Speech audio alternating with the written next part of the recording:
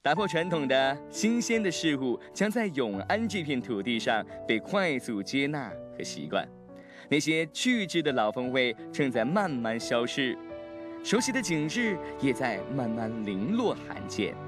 但老传统、老情怀并没有完全的被遗忘，仍然有人在用最直截了当的方式，小心翼翼地维护着老永安的味道。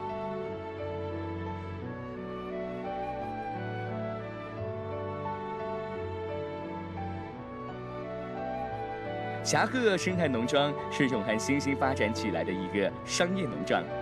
令人想不到的是啊，在这个新兴的商业农庄里，我们竟然找到了久违的老手艺。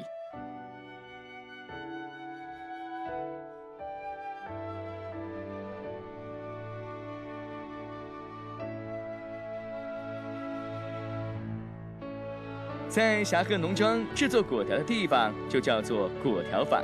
果条是老永安人最为传统的早餐选择，因此它也是农庄供应早餐的地方。这里集结了许多永安传统小食的老手艺人，他们制作爱果、捶打糍粑，当然更少不了纯手工制作的果条。永安的果条，从小孩到大人、老人都喜欢吃。我小时候就喜欢吃，吃了就。后上后面就爱上他，就做果条，一做就是二十多年了。他这边玩的人多，大家喜欢吃，然后就请我来这边做。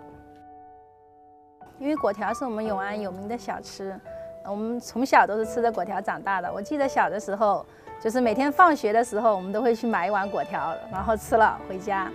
那现在就是果条虽然在我们永安，仍旧是大部分人。就是喜欢的一个小吃，但是呢，就是现在果条的制作都被机械慢慢取代了，真正的纯手工制作的已经非常少了。何阿姨无论是在自己家还是在霞鹤，一直都坚持用石磨磨米浆。她认为，只有用石磨磨出的米浆才更细，更能保留大米本身的香味，制作出的果条也更嫩滑。味道与儿时记忆里的果条才一致。